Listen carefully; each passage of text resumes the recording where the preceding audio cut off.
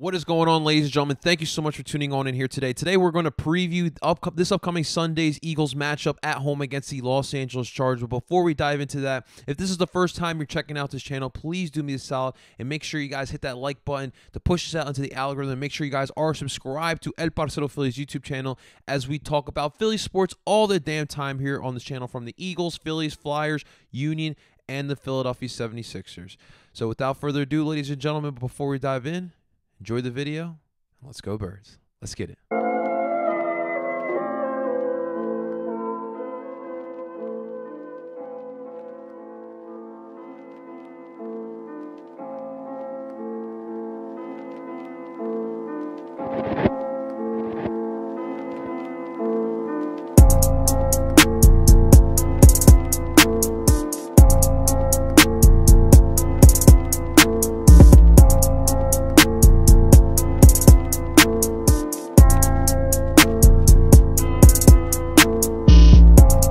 Happening, guys? What a crazy ass week it has been in the NFL with all the news, all the con- controversies, all the drama that's been going on. The NFL started to take a page out of the NBA's book. We're going to talk about today the preview that we're going to have this upcoming for this upcoming Sunday's game against the Los Angeles Chargers, but we do have some business at hand to talk about. And before we dive into today, ladies and gentlemen, please let's wish happy birthday to our own center, Jason Kelce, who today is turning 34. I can't believe that man is 34. It was like yesterday. He was that fifth round draft pick coming out of Cincinnati. Man, oh man, what a steal we absolutely got from Jason Kelce. We'll never forget that that great, great, great speech that he had at the Super Bowl parade.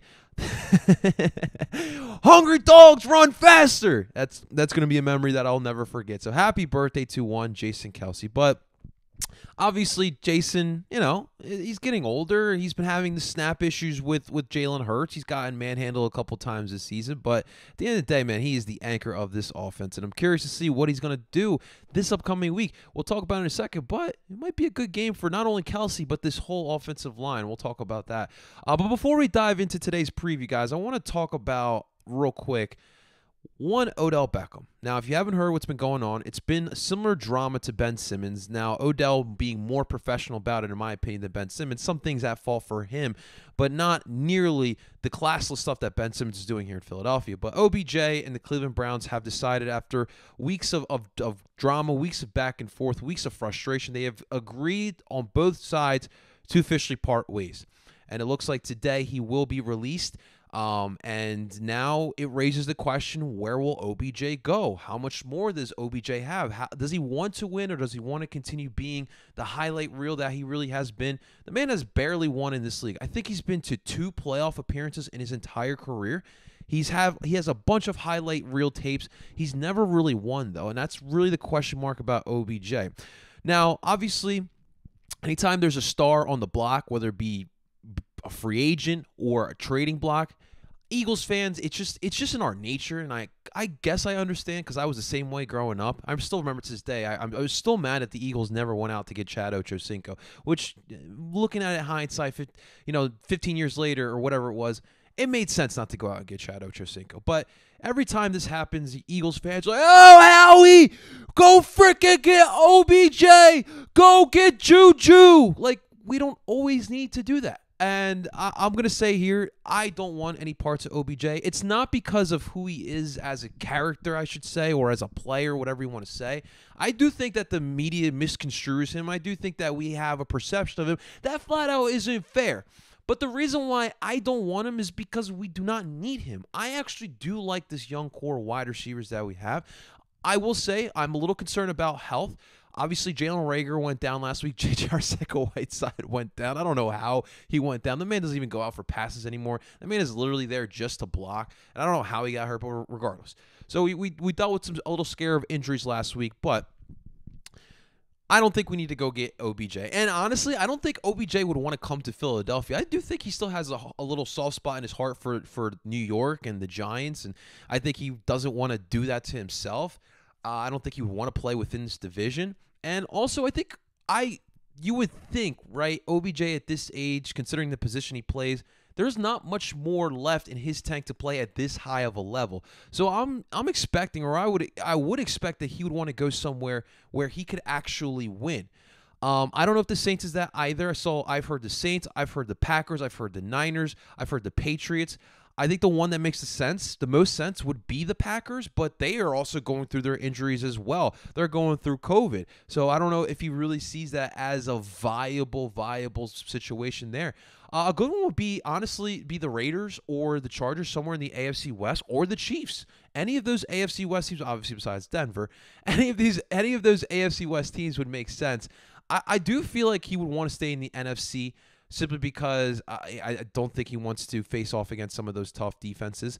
Uh, I figured he want to come back to the NFC, but this is going to be something. It's it's a nice little free agent period right now with OBJ in the middle of the season. But no, I don't think we need OBJ. I want to continue growing with these young wide receivers, DeVonta Smith and Quez Watkins. Let's get those guys going before we start looking at other wide receivers. So I am out on OBJ. Well, regardless, we do have an upcoming game this upcoming Sunday. Like I just mentioned, we're going to be facing off against those Los Angeles Chargers. Um, and obviously, you know, us Eagles fans are feeling a little bit better. I don't know if we feel exactly good because the fact of the matter is, you did have a good game. You did win by 30 some points, but you did also play against the Detroit Lions. 34 points. I don't know why I didn't do quick math there, but 34 points. But it was the Detroit Lions. So, yes, there are some things you could take away that you can to implement into this game, but the Chargers are definitely a better team, and the Chargers actually aren't terrible on the East Coast. When you're talking about East Coast teams going to the West Coast, West Coast teams going to the East Coast, usually they don't fare well, but the Chargers actually do pretty solid job out on the West Coast. Uh, but when looking at this game, you know, we're talking about what can they bring over from the Lions game to this game, and honestly, I think they can bring a lot of the principles of why they won on last Sunday. They can bring it into Sunday afternoon in Philadelphia. Look, the, the the main thing that we have seen with this Chargers team, the main weakness that you have seen, is that this run defense is atrocious. This run defense for the Los Angeles Chargers is atrocious. So just just take a just take a second and look at these numbers, right? So they are 32nd in rush yards allowed in the league. Last, dead last in the league. They are 32nd in yards per carry. Again, last in the league. They are 28th in rushing touchdowns allowed. Now, that's not last in the league, but they're tied for 28th in the league right there. As a, ru- a rushing defense, they are currently the 30, 31st ranked rushing defense in the National Football League. It is pretty damn bad what is going on there. They are just a slightly above the Detroit Lions in that category, which is not good. That's not a good thing to be slightly above the Detroit Lions in that category. Um, teams all season long have been able to run the ball all over them. If it wasn't for Justin Herbert and that offense, the Chargers would not be where they're at as a four-win team here.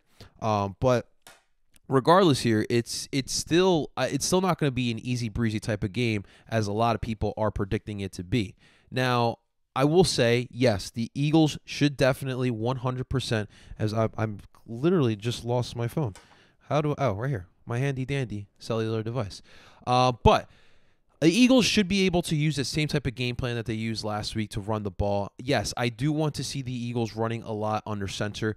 Uh, put Jalen Hurts under center, hand the ball off to Boston Scott and Jordan Howard, and that that definitely should be a recipe for success. But the one thing that not a lot of people are talking about, and reason why this run game was so successful, yes, Boston Scott were hitting those holes, taking advantage of some open space. Jordan Howard being the the bruiser that he is, taking advantage, getting those extra yards. But as well, this offensive line for the Philadelphia Eagles is pretty damn good on the run. These guys get confidence. Landon Dickerson, I hate Pro Football Focus, but look, on when you look at the Pro Football Focus stats, he's one of the best run blocking offensive lineman in the league right now. He feels so much more confident. And that's the point. This is why I've been iterating, and a lot of us Eagles fans have been iterating for the Birds to run the ball more. Run the damn ball. Because not only is it alleviating pressure off of Jalen Hurts' shoulders, but it's also alleviating pressure off the offensive lineman. You got some young offensive linemen right now due to injuries. You got a Landon Dickerson, who is a rookie in there. Nate Herbig, a second year player. Jordan Mailata, essentially a, a essentially a second year starter. Right, Dillard has been in there a, a lot as well. Uh, Lane Johnson has a back, but regardless, you got players that are young but have been conducive to run blocking. They have been taking advantage of it, and they have been playing really, really well, including the birthday boy, Jason Kelce as well. So, running the ball, not only is it conducive for Jalen Hurts' development, for what's going on in the game, keeping the ball away from a dangerous Justin Herbert who's having a solid season right now but also to give the confidence to those offensive linemen. Now, look, we every week are looking at Jalen Hurts' development, and obviously last week was a tough week to to to to to evaluate him because he only attempted 14 passes and he only had 103 yards and no touchdowns. Yes, that's definitely tough.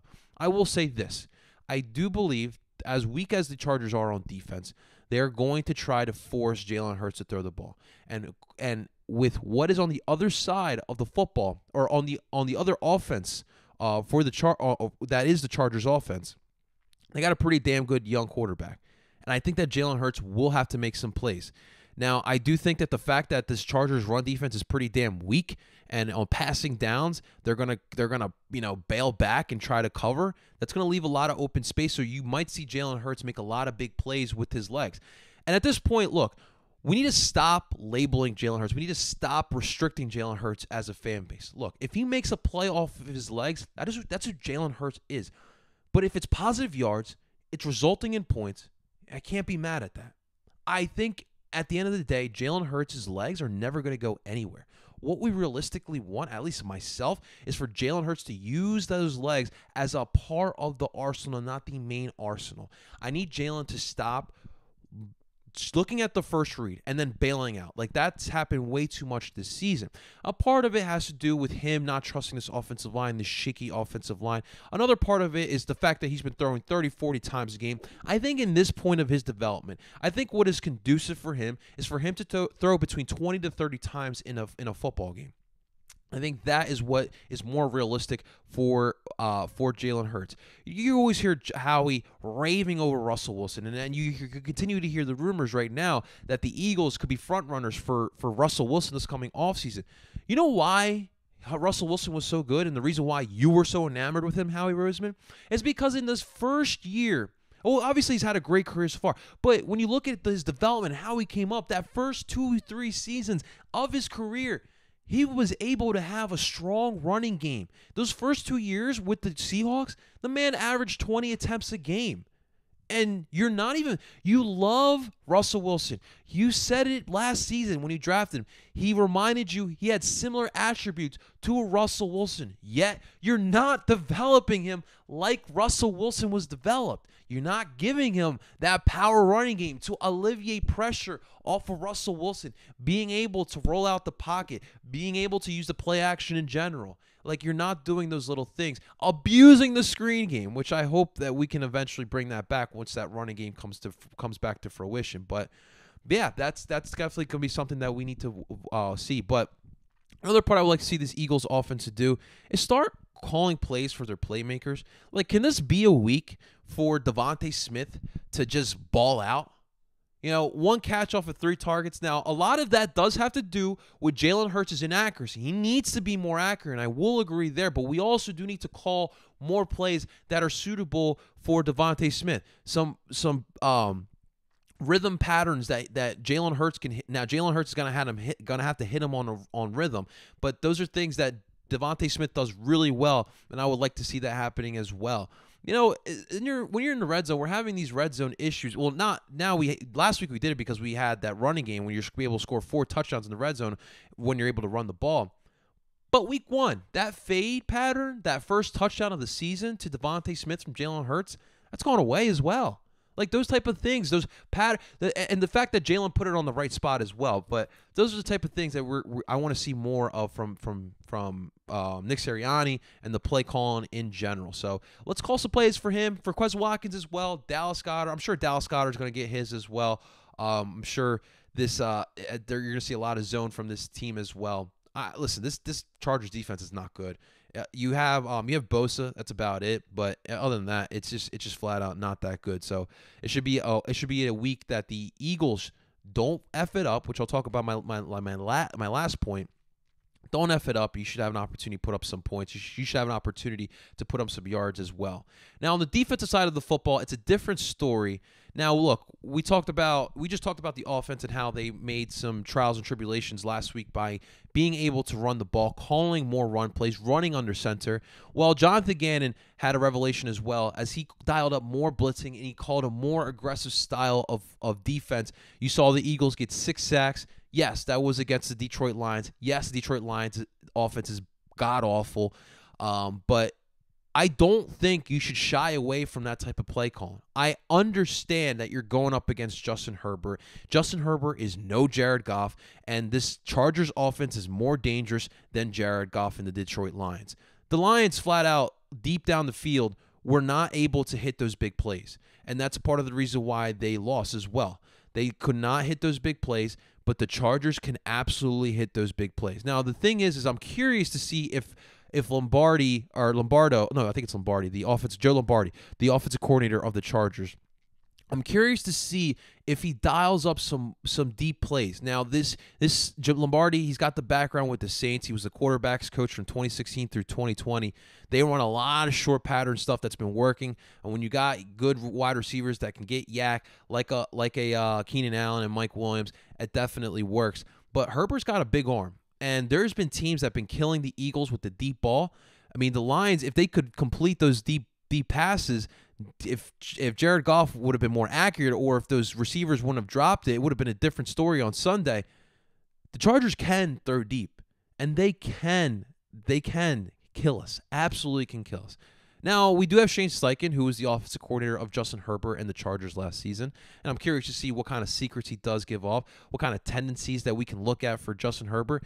Now, the thing is, Herbert has developed very well from the, from this from last season to this season. He has really done a good job of developing his own game. So those are things that we can definitely keep an eye out for. Um, but regardless, this is going to be it's going to be a tough challenge trying to contain a Justin Herbert. But I still think you got to dial up those blitzes. You got to get in his face. You got to rattle him as best as you can. You got to make this as difficult as possible for Justin Herbert. It's it's going to be a tough challenge, but it, it, at home, it's going to be chill. It's chilly. It's been chilly this week. I'm freezing right now. So I'm sure the Chargers coming back oh, being over here, they're going to be cold as well. So again, Gannon and Sirianni, please do not shy away. And that's that leads to my, my points overall of this game. Like, look, this again is another winnable game. Do I think that they can do it? I do not know if the Eagles can get this done. Right? The the fact is we don't know who the Eagles are yet. Last week was a great play call. They absolutely did a great job with adjustments. Finally, they called the right plays. They did what made sense. But that was one week. All right. We don't know if this is going to be Sirianni on a week to week basis. And also, you played against the worst team in the NFL this past week. This is a different team. Not the best either, but it's a little bit improved from what you saw. Now, we have yet to win at home this year in, in in Lincoln Financial Field. We won in Atlanta, we won in Carolina, we won in Detroit, but we have yet to win, and we're in November now. We have yet to win at the Link. That just doesn't happen. That didn't happen in the Doug Pederson era of Eagles football. Chip Kelly going into his first season, we had a losing streak at the Link, but now we're getting back to a losing streak again at the Link, and we got to get that win. You cannot have that home field advantage that is Philadelphia and not be able to win some ball games. Now we've had some tough challenges. You've had the Bucs in here. You've had the Chiefs in here. Um, the Niners game, I still will say should have been a win by the Birds, but you've had some tough challenges uh, at home. But you still got to find a way to win those games. Can Sirianni, can Gannon call good game plans again? To me, this Eagle success is lying on the shoulders and the play calling of both of those guys. Because to me, the reason why they're a three and five ball team right now is because of the coaching staff not putting their team with who does have talent. I remind you, have not put them in good situations to get the dub here. So it's going to be interesting to see how we are able to play at home. Um, and also to to that point, look, the Lions, yes, they're a bad team. They had 13 penalties, three 12 men on the field. That's not going to happen every single week. You really got handed a win. You really sh- you just showed up and you played. You, you you didn't underestimate the Lions and you got the dub. This week it's going to be different here for the for the Philadelphia Eagles. So um, it's going to be interesting. I do think I do buy I do believe in the Philadelphia Eagles to get the job done this week. And as far as my prediction goes, yes, I do think that the Eagles will finally get that monkey off the back. They will finally get a dub here in Philadelphia at the link and will win. I'm going to say it'll be a 24 to 20 victory, a last uh, a last drive to get the win for Jalen Hurts. The defense will make just enough plays, and the Eagles will get the dub there.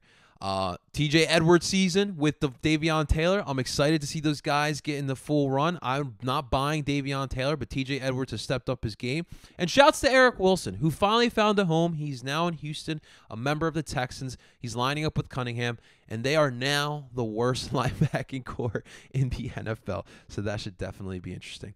I got the Birds winning. In the comments, you let me know, guys, what you think the Birds are going to do. Thank you so much for tuning on into this preview, guys.